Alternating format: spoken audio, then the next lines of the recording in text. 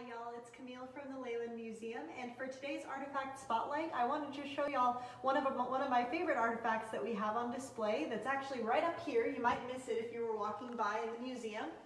But this, this is a bicycle that actually belonged to W.J. Layland, who was, of course, a plumber from right here in Cleburne, who donated the artifacts that were the first things that made up the Layland Museum. So it's a pretty interesting bicycle, and if you know anything about old bicycles, you might notice that it's a little bit different than ones you might have seen before. It has the bigger wheel in the back rather than in the front. So this is called an American Star. It was invented in the 1880s, and reasoning behind the big wheel being in the back is that it's a little bit more stable that way.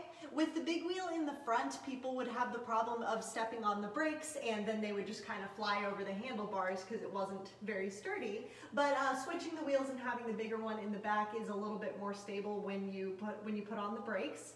Now the problem with this of course could be that uh, if you leaned back too far you could still fall off the bike. So eventually we realized that having two wheels of an equal size was a little bit of a, a better idea. But another interesting thing about how this bike works has to do with the mechanism that actually makes it go. Rather than having a crank system like the bikes that we have in the modern day, this has what's called a treadle. And for, for our purposes, what that means is that when you pedal this kind of bike, your feet are gonna kind of move like this, rather than in our modern bikes where they kind of go in a circle. And you can actually push both pedals down at the same time uh, in order to accelerate the bike.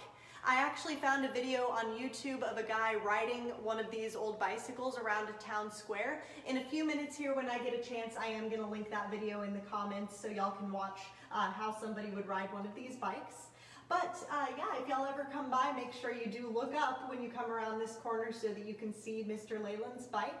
But that's just a little bit of information about it. And here in a minute, uh, Nick and I are going to go over to the Railroad Museum and show y'all uh, his artifact spotlight for today. So thank y'all so much for joining us once again, and we hope y'all have a great rest of your